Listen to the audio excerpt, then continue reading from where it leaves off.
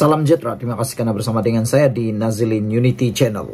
Saudara-saudara sekalian, ini satu pendedahan paling hebat daripada Anwar Ibrahim berkait dengan enam ahli parlimen bersatu yang telah pun dipecat dan masih kekal sebagai ahli parlimen.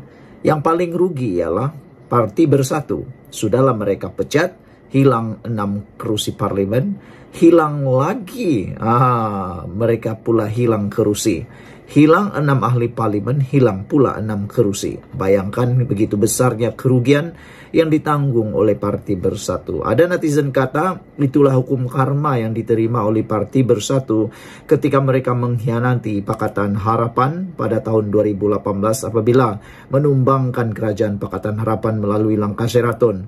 Ada yang kata, itulah yang disebut sebagai hukum karma yang mana dulu mereka dihianati kali ini mereka pula yang dihianati mereka pula yang terkena uh, terkena hukumnya sendiri dan menerima balasan yang paling setimpal sekali saudara-saudara sekalian adakah balasan setimpal lagi ialah apabila Perikatan Nasional pula yang runtuh.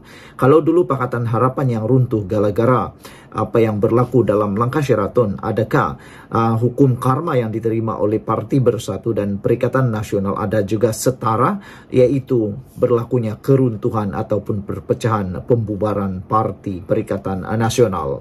Hari ini Anwar Ibrahim menyalahkan Bersatu kerana enam ahli parlimen kekal kerusi masing-masing.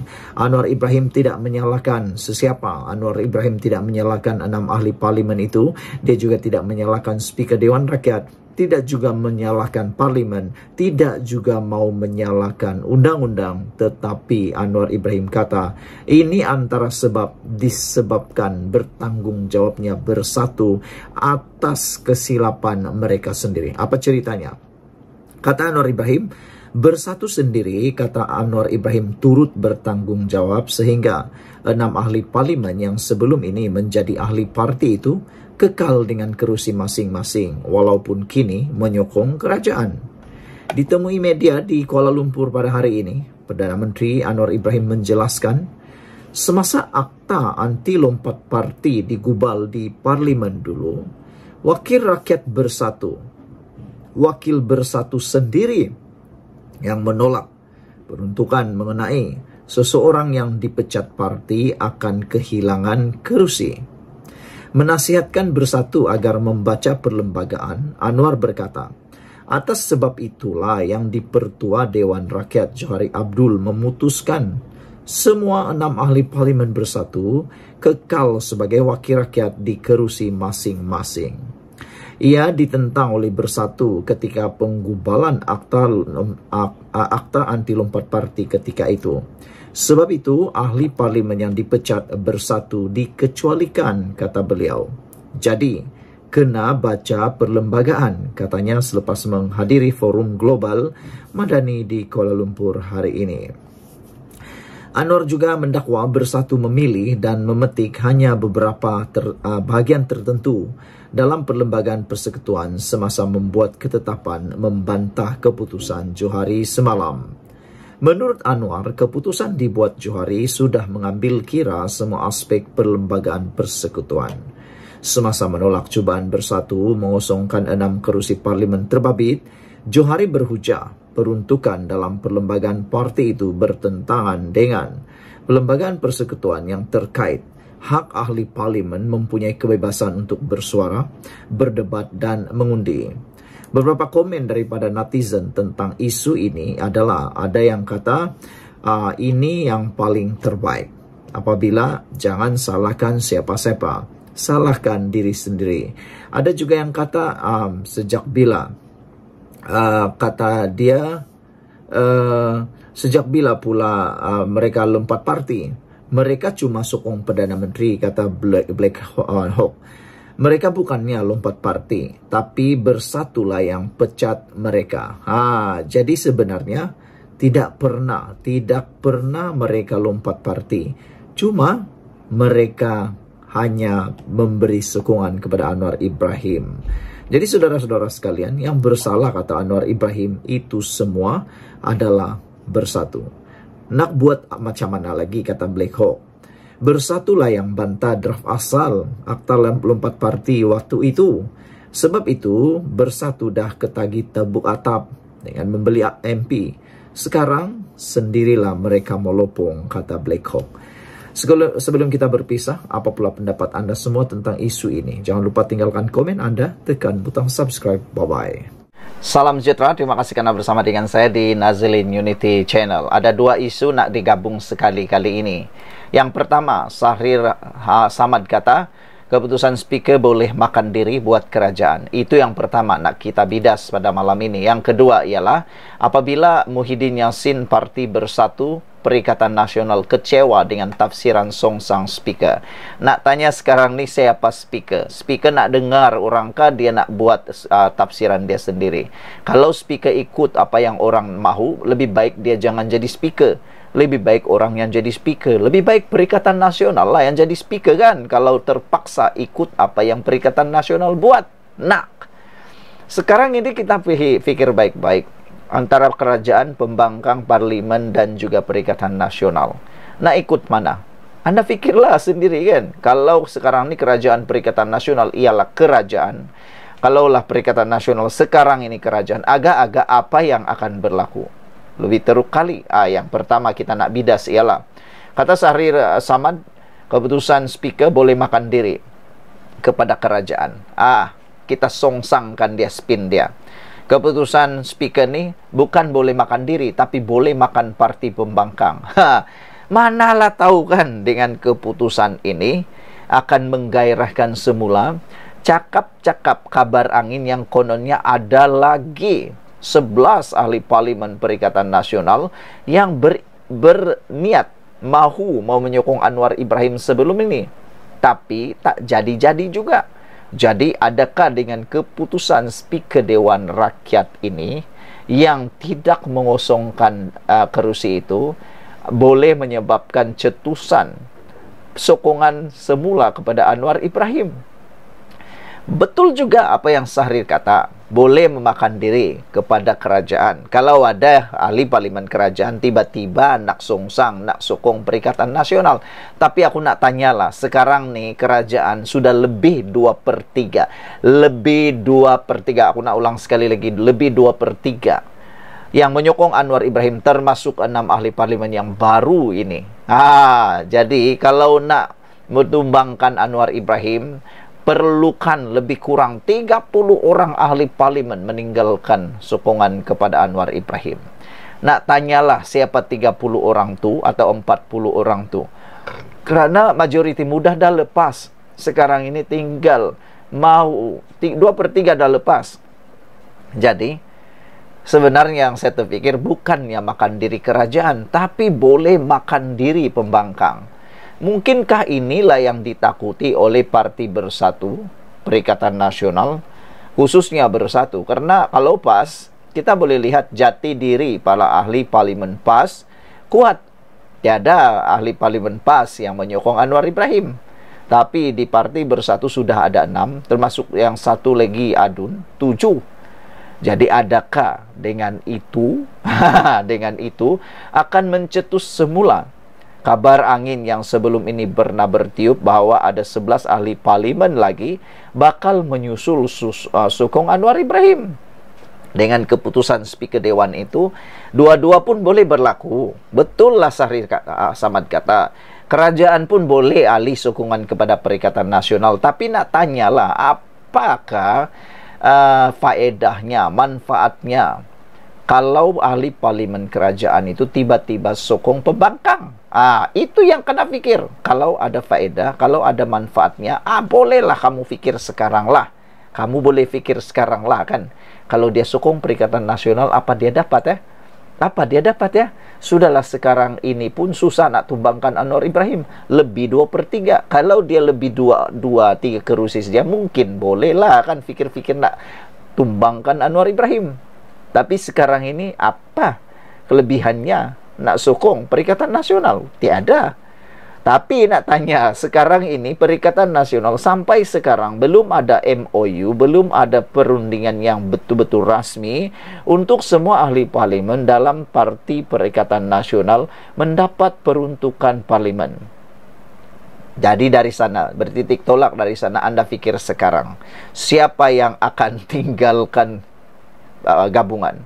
Silap-silap hari bulan, ahli-ahli parlimen Perikatan Nasional akan menggunakan isu ini untuk menyokong Anwar Ibrahim. Sebab rupa-rupanya keputusannya tiada juga langgar uh, langgar akta lompat parti dan tidak akan kehilangan par, uh, kerusi.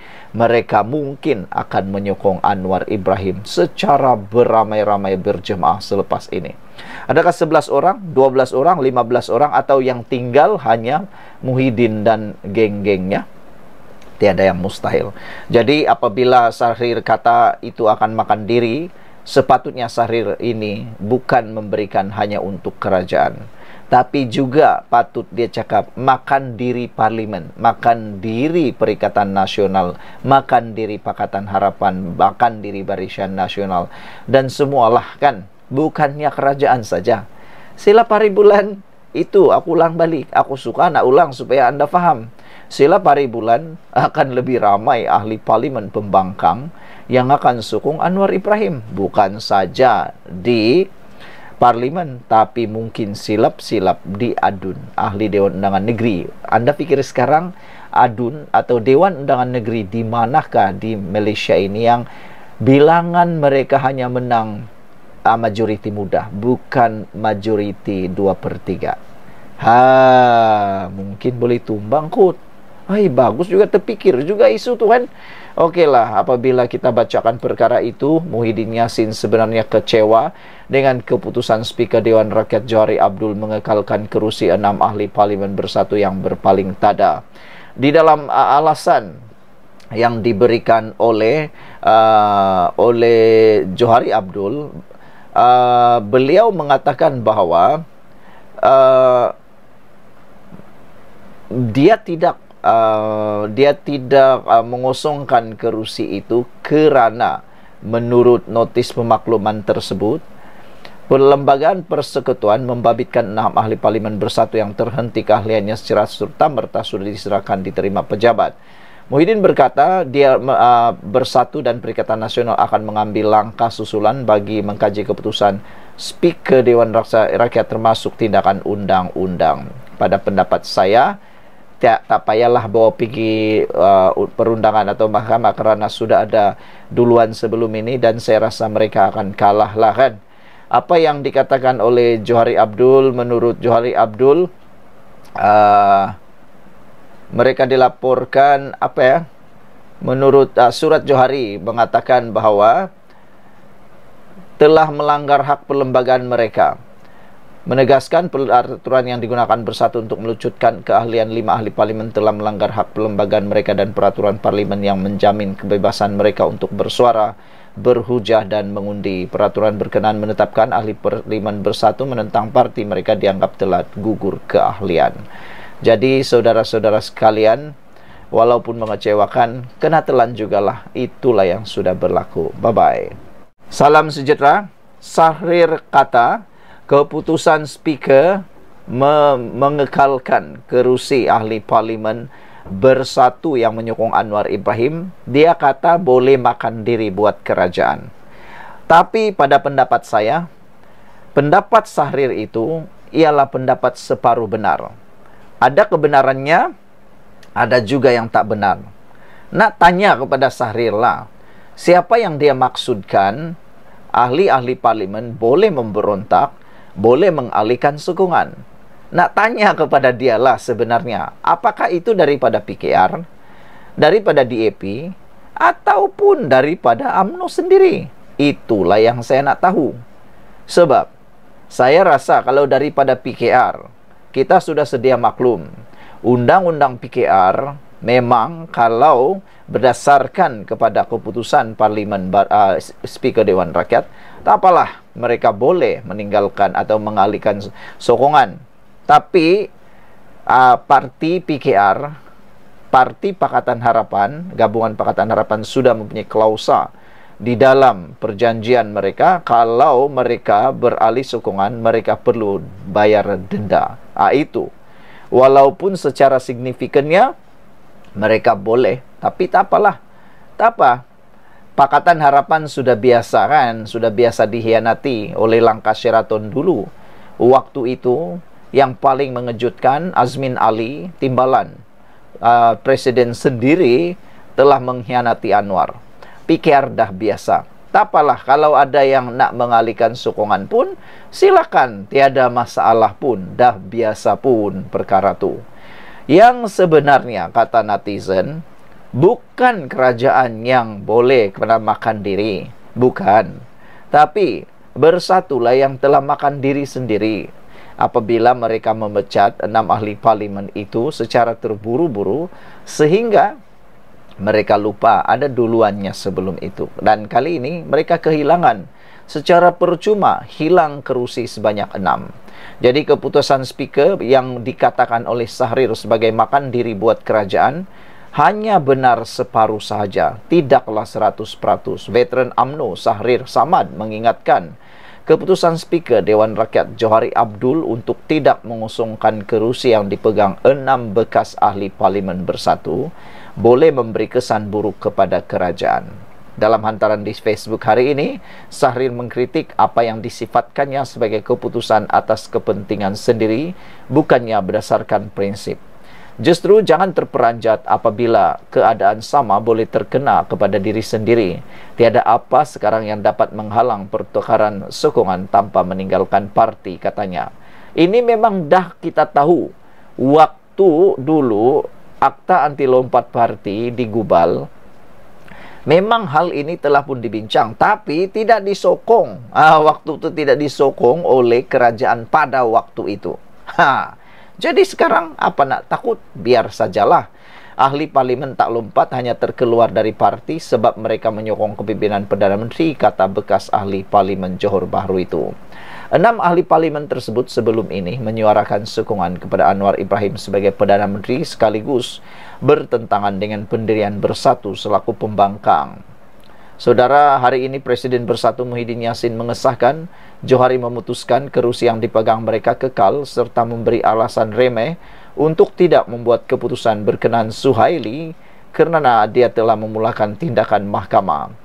Dia juga menyifatkan Johari telah mengkhianati semangat dan hasrat murni pindaan perkara 49A Perlembagaan Persekutuan bagi menghalang ahli parlimen melompat parti berkenaan lima ahli parlimen yang lain pula Surat Johari yang dilihat Malaysia kini menyatakan peraturan bersatu bercanggah dengan perlembagaan persekutuan dan peraturan parlimen yang menjamin hak mereka untuk bersuara, berbahas dan mengundi. Mengulas perkara itu, Sahrir membayangkan ahli parlimen yang menyokong Anwar juga boleh menarik balik sokongan mereka tanpa meninggalkan parti masing-masing. Keputusan ini tidak menjamin kestabilan uh, politik katanya lagi. Ah, apa. Sebenarnya apa yang berlaku semua ini ialah atas dasar keputusan bermula daripada langkah Sheraton. Semua ini daripada langkah Sheraton. Kalau tak ada langkah Sheraton, perkara yang sekarang ini tidak akan berlaku. Semuanya berakar daripada langkah Sheraton. Jadi sebenarnya Anwar kata dia tak kisahlah orang suka atau tidak, ditinggalkan tidak, ter, terpak apa dibuang sebagai ahli perdana menteri ke tidak tak ada masalah. Yang penting dia lakukan perkara yang betul. Ahli parlimen bersatu alihkan sokongan sebelum undang-undang bersatu digubal. So ia tidak terpakai ke atas mereka. Kata JKBK betul lah kan? Apa yang berlaku ialah uh, sebelum uh, perlembagaan parti bersatu diubah di, di, dibuat Uh, perubahan sudah berlaku peralihan sokongan itu. Nah, jadi aku nak tanya sekarang ni lah. Sebenarnya yang Sahri cakap ni bukan saja boleh berlaku kepada Anwar tau. Silap-silap hari bulan ianya juga akan bertambah teruk lagi untuk parti bersatu. Jeng jeng jeng, kita tunggulah nanti. Bye. Salam sejahtera. Terima kasih kerana bersama dengan saya di Nazilin Unity Channel. Hari ini keputusan paling kita tunggu-tunggu akhirnya diumumkan oleh Speaker Dewan Rakyat. Enam ahli parlimen ini status terkini mereka selepas uh, Muhyiddin Yassin dan Bersatu memecat mereka. Ada yang kata tindakan Muhyiddin Yassin bersama dengan Parti Bersatu tergesa-gesa memecat enam ahli parlimen ini adalah kesilapan paling besar sekali. Kata mereka, kalaulah Muhyiddin Yassin yakin dengan apa yang mereka kata, mereka hanya memberikan sokongan tetapi masih kekal dalam bersatu, Muhyiddin dan Parti Bersatu tidak akan kerugian apa-apa. Nah, sekarang ini apabila Muhyiddin Yassin bersama bersatu sangka perubahan perlembagaan parti boleh menyelamatkan enam ahli parlimen atau boleh menyelamatkan enam kerusi itu rupa-rupanya sangkaan itu meleset sama sekali. Mereka sepatutnya ambil peduli belajar daripada duluan yang pernah berlaku dalam uh, kerusi parlimen dari Sabah kalau anda masih ingat, ada satu duluan sebelum ini yang case-nya hampir sama seperti ini. Melibatkan parti GRS dan juga parti bersatu. Akhirnya apa yang menang? Parti GRS menang. Dan uh, beberapa kerusi parlimen milik bersatu itu tidak berjaya dikosongkan. Karena uh, disebabkan oleh beberapa isu yang lebih penting. Dan mahkamah juga tidak dapat membuat apa-apa eh, keputusan selain membenarkan dan mengikut keputusan Speaker Dewan Rakyat. Dan akhirnya Speaker Dewan Rakyat mengumumkan enam ahli parlimen bersatu yang menyokong Anwar Ibrahim itu kekal sebagai ahli parlimen kerana mereka tidak melanggar akta anti lompat parti dan mana mereka sebenarnya tidak keluar daripada parti. Mereka hanya menyatakan sokongan kepada Anwar Ibrahim. Dan kalau masih ingat sebenarnya dulu isu ini pernah dikemukakan oleh Pakatan Harapan supaya diluluskan di dalam Dewan Rakyat yang mana kata mereka kata Pakatan Harapan uh, orang yang menyokong atau mengalihkan sokongan tanpa melibatkan kepimpinan pun boleh dianggap sebagai uh, lompat parti. Tapi waktu itu ada orang ha anda carilah sendiri siapa orang-orang itu yang sebenarnya tidak menyokong usul Pakatan Harapan. Nah sekarang kena makan uh, makan diri sendiri kena diri sendiri. Akhirnya uh, kerugianlah parti bersatu menangislah mereka bersama dengan kawan-kawannya kerana rupa-rupanya disangka mereka boleh rampas kerusi semula. Akhirnya mereka hilang secara percuma. Enam kerusi parlimen. Bermaksud enam ahli parlimen bersatu ini sudah berada dalam uh, keadaan bebas. Apabila mereka dipecat mereka bebas kali ini untuk beralih ke mana-mana parti politik. Jadi itu yang disebut rugi dan langkah bersatu makan diri sendiri. Status enam bekas ahli parlimen bersatu yang menyokong kerajaan perpaduan Perdana Menteri Datuk Seri Anwar Ibrahim akhirnya terjawab. Bersatu mengesahkan mereka terbabit sebagai wakil rakyat selepas mengesahkan mereka yang terbabit kekal sebagai wakil rakyat selepas ke Dewan Rakyat Tan Sri Johari Abdul memaklumkan tidak berlaku kekosongan kerusi mereka. Hal tersebut dimaklumkan Johari menerusi surat bertarik 9 Julai. Presiden Bersatu yang juga pengerusi Perikatan Nasional PN Tan Sri Muhyiddin Yassin maklumkan perkara itu dalam sidang media di Dewan Rakyat hari ini. Dan saya rasa walaupun kalau mereka berniat untuk membawa isu ini ke mahkamah, kita sudah tahu jawapannya. Sebab sudah ada duluan, dulu GRS lawan bersatu di Sabah. Apa yang menang? Ena, uh, ahli parlimen itu yang menang. Dan itulah duluan yang mungkin akan jadi rujukan nanti. Yang mana mereka tidak lompat parti dan tidak melanggar akta anti lompat parti. Pada 12 Jun lalu, Bersatu menyerahkan notis terhenti secara serta-merta kepada mereka yang didakwa melakukan ketidakpatuhan mengikut pasal 10.4 perlembagaan parti itu selaras arahan Majlis Pimpinan Tertinggi MPT. Sekian untuk kali ini. Jangan lupa tinggalkan komen anda untuk isu ini. Adakah anda juga bersetuju dengan netizen yang menggelar dan menganggap Tindakan bersatu memecat enam ahli parlimen ini adalah tindakan yang paling merugikan sekali. Mereka secara percuma membuang enam, ah, enam kerusi parlimen mereka. Maknanya sekarang kerusi bersatu makin hari makin kecil.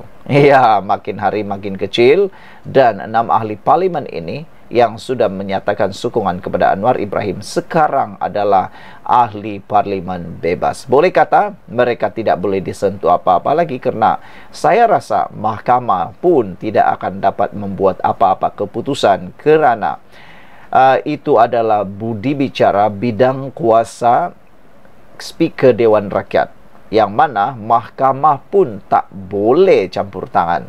Kerana kalau mahkamah campur tangan, maka berlanggarlah kuasa pengagihan kuasa di parlimen dan juga mahkamah. Sekian dulu untuk kali ini. Jangan lupa tinggalkan komen anda. Malaysia kita punya, kita jaga sama-sama. Cintai Malaysiaku. Bye-bye. Salam sejahtera. Terima kasih kerana bersama dengan saya di Nazilin Unity Channel. Saudara-saudara sekalian, ini keputusan terkini berkaitan dengan kes rasuah penyalahgunaan kuasa penyelewengan dalam kes Janawi Bawa Muhyiddin Yassin. Akhirnya, mahkamah mengumumkan keputusan yang mengejutkan seluruh rakyat Malaysia. Lima orang panel uh, telah pun bersidang memba- uh, membacakan keputusan tersebut. Hari ini diumumkan kes Janawi Bawa permohonan Muhyiddin menyemak keputusan akan diumumkan pada 20 Ogos. Sebelum saya teruskan ulasan dan apa keputusan hakim di mahkamah berkait isu ini, apa pendapat anda? Adakah Muhyiddin akan berjaya menarik balik um, pertuduhan tersebut ataupun akan diteruskan pertuduhan tersebut? Selepas saya makan, apa agak-agaknya keputusan hakim dan apa komen hakim? Jom kita dengar ini keputusan hakim permohonan Muhyiddin Yassin untuk menyemak keputusan Mahkamah Rayuan yang mengembalikan empat tuduhan salah guna kuasa yang dikaitkan dengan program Janawi Bawah akan diketahui pada 20 Ogos ini. Keputusan itu ditetapkan oleh panel lima hakim Mahkamah Rayuan yang dipengerusikan Aziza Nawawi hari ini. Turut bersidang sama adalah Hakim Muhammad Ruzima Ghazali, Ahmad Zaidi Ibrahim, Azman Abdullah dan Azhari Kamal Ramli. Aziza berkata panel memerlukan masa untuk membuat keputusan kerana ia membabitkan isu yang serius. Pada Mac tahun lalu, Muhyiddin didakwa di Mahkamah Session Kuala Lumpur berhubung empat pertuduhan salah guna kuasa dan tiga pertuduhan penggubahan wang haram membabitkan 232.5 juta ringgit yang dikaitkan dengan program Janawi Bawa. Dia didakwa di bawah Seksyen 23 dalam kurungan 1 Akta SPRM 2009 atas pertuduhan menggunakan kedudukannya sebagai Perdana Menteri ketika itu dan Presiden bersatu untuk dorongan 232.5 juta daripada tiga syarikat dan seorang individu antara 1 Mac 2020 dan Ogos 20, 2021. Tiga syarikat berkenan ialah Bukhari Equity, Nepturis dan Berhad dan Mamfors dan Berhad. Manakala individu terbabit pula adalah Azman Yusuf. Tiga pertuduhan penggubahan wang haram itu dibentangkan di bawah Seksyen 4 dalam kurungan 1 kurungan B Akta Pencegahan Penggubahan Wang Haram, Pencegahan Pembiayaan Keganasan dan Hasil daripada Aktiviti Haram 2001 dibaca bersama Seksyen 87 dalam kurungan 1 Akta Sama. Muhyiddin 77 tahun didakwa menyalahgunakan kuasa untuk bersatu menerima 125 juta ringgit hasil daripada aktiviti haram daripada Bukhari Equity antara 25 Februari 2021 dan 8 Julai 2022. Tuduhan itu tidak mendakwa bahawa pembayaran dibuat kepada Muhyiddin tetapi wang berkenan didakwa digubah dengan dimasukkan ke dalam akaun bersatu. Pada Ogos tahun lalu, Mahkamah Tinggi Kuala Lumpur membenarkan permohonan Muhyiddin untuk membatalkan empat pertuduhan salah guna kuasa yang membawa kepada pembebasan terhadapnya. Bagaimanapun, pada Februari tahun ini, Muhyiddin Mahkamah Rayuan mengekalkan semula pertuduhan dan membatalkan pembebasan tersebut. Muhyiddin hari ini memohon Mahkamah Rayuan menyemak keputusan sebelum ini dengan alasan bahawa pertuduhan jenayah itu adalah kabur dan cacat dari segi undang-undang. Pengurusi Perikatan Nasional PN juga berhujah bahawa kes terhadapnya adalah satu bentuk penganiayaan politik. Saudara-saudara sekalian, itulah keputusan mahkamah hari ini dan ada satu ada satu uh, komen di ruangan Malaysia kini Purple Mouse kata 20 Ogos keputusan kalah rayuan lagi di Mahkamah Persekutuan kalah baru bicara bicara kalah rayu lagi. Taktik abah kau melambat-lambatkan proses mahkamah sehingga PRU 16 dengan harapan bila jadi Perdana Menteri bila PN menang maka dia terlepaslah dari bala dunia buang masa mahkamah kata Purple Mouse. Green Puma 9227 pula kata buang masa mahkamah sahaja. Sekian untuk kali ini. Jangan lupa tinggalkan komen anda. Bye.